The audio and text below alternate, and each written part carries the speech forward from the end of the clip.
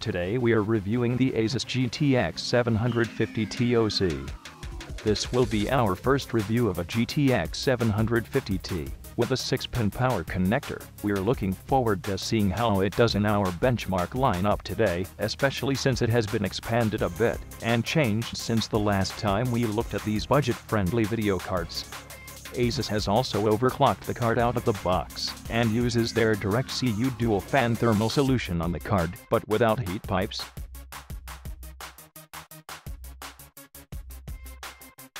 We really don't have a whole lot more say today, so let's leave it at that and move to the package of the Asus GTX 750 Ti 2GB OC edition, to see just what exactly we have hands here today.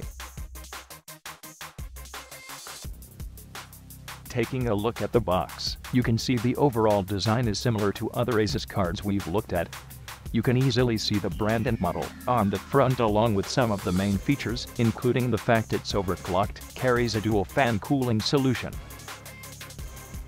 Turning the box over, you can see a picture of the card along with a look at the I.O. side of things showing the connectors. On the right side, we get an expanded look at some of those main features that are included, the GeForce GTX 750 Ti and GTX 750 are based on the 28nm GM107 silicon. This 1.87 billion transistor GPU features a basic component hierarchy and dual fan thermal solution on the card, but without heat pipes. This edition comes with a custom cooling cooling solution which by itself will allow a slight performance boost as GeForce GTX 750 Ti benefits from the GPU Boost 2.0 technology. Benchmarks indicate its performance is only around 3% better than the reference NVIDIA GeForce GTX 750 Ti and GeForce GTX 650 Ti. Boost Edition are still faster, Unlike higher-end cards, you don't see a whole bunch of copper heat pipes or anything like that coming out of the top of the card. Considering the fact we're dealing with a lower-end GPU here, though, the dual fan setup with a massive heatsink should perform well. You will receive in a box, a graphics card, and a driver CD plus documentation. Taking a look at the card, you can see it's not too large, and the dual fan heatsink manages to hang over the back by a decent chunk. Behind the two large fans, you can also see that we have a massive heatsink covering the entire PCB. Finishing our look at the Asus GTX 750 Ti 2GB OC, we move over to the I.O. department, where we find a single VGA port alongside a single HDMI port. In between these two ports, you can see we have two dual-link DVI-D connectors.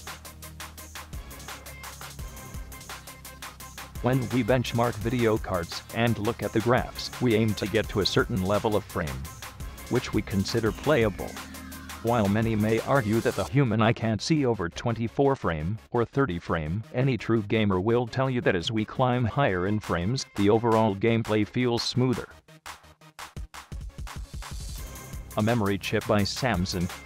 They are specified to run at 1500 MHz. Taking a look around the card, you can see we have just a single 6-pin PCI power connector on the card.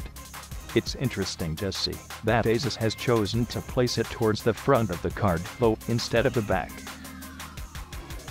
6-pin PCI power connector on the card. It's interesting to see that Asus has chosen to place it towards the front of the card, though, instead of the back. This power configuration can provide up to 150 W of power. You cannot use the card without the power connector, check the graphic card power cable located on top of the graphic card, easy to plug. After installation graphic card and Asus Z97C motherboard. End of this video, say pros and cons of Asus GTX 750 Ti OC booster. Pros and cons of Asus GTX 750 Ti OC booster.